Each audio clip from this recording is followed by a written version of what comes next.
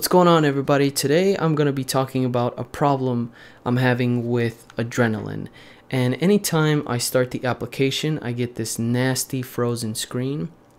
And I believe it's due to corrupted themes that I have installed. And I changed the theme and now I get this problem. So I'll be going through different ways to fix this problem, which is not that difficult. So hopefully this will help you out if you're having issues like this. So let's hop on our PC and see what we can do to fix this problem.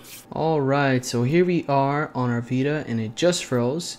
And if you're stuck on this screen, all you have to do is hold the home button and you're going to be accessing the adrenaline main settings or the uh, home settings and here you'll see adrenaline and then you want to hit the settings and you want to exit the PSPMU application. Sorry, let me adjust my microphone here real quick. So let's exit out of here and just close that. Now, the first option we can do is access the recovery menu. So let's open up Adrenaline and before you hit the start, hold down the R button and this will access the back settings, the backend settings, the recovery menu. There we go. So the adrenaline recovery menu.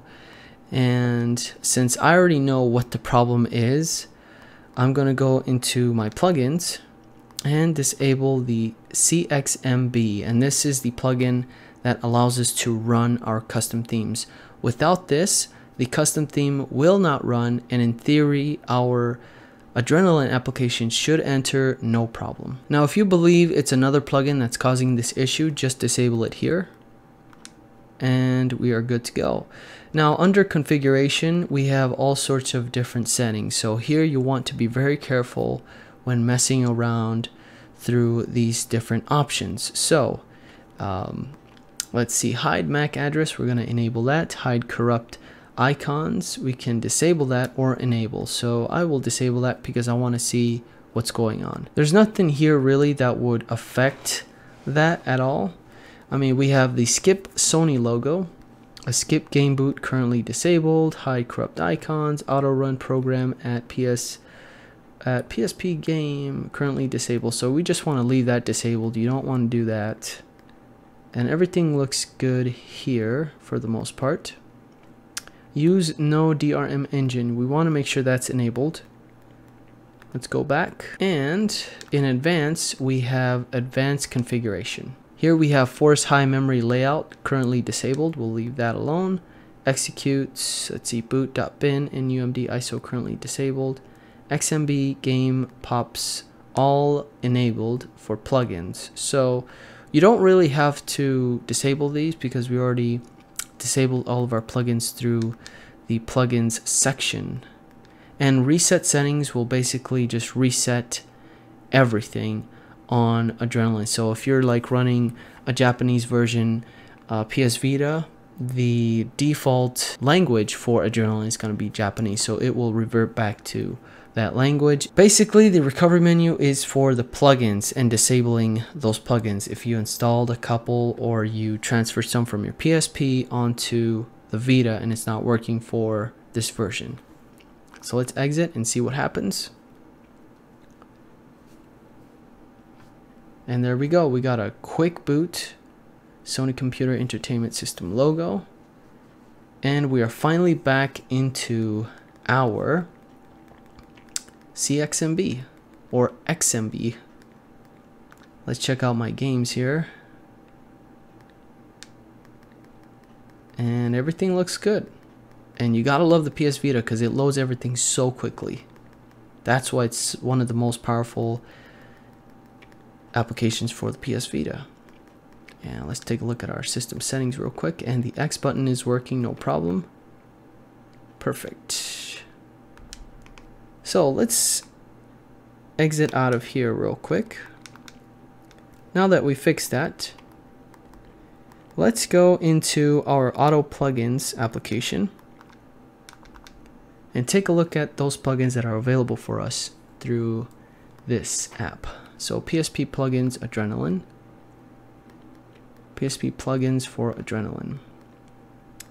So I have these two installed and you can take a look at your different partitions to see what else is installed. So there's only a total of seven plugins.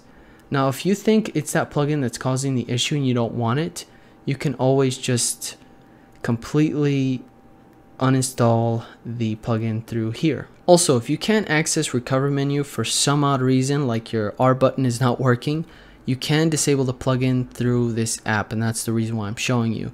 You just have to press triangle, and you'll see that option down in the left hand, lower left hand corner. Triangle is disable the plugin. Cool, so we got that all out of the way. Now let's check out VitaShell and see where we can find those corrupted files. Going into our VitaShell, we will access our folder for Adrenaline. So my partition is going to be, or the folder that I'm using for Adrenaline is going to be under the ux0 folder. And we are going to go under the PSP emu folder. And we're going to go under the PSP and theme. So here are all of my custom themes and what I'll be doing is deleting all of them because I know for a fact that most of them are corrupted and there's just no way for me to recover or fix those and just going through each one is just going to take a lot of time. And I already did that on my PC so just going to get rid of that completely. And you can also get rid of the CXMB folder if that is the issue that you're having and you don't want no custom themes on Adrenaline. You can just delete that there. And that is basically it for this video guys. I hope this was helpful and you're able to fix adrenaline again and go through and play your PSP or PS1 games. If you have any questions, as always, please leave them down below and I'll try to get back to you as soon as possible.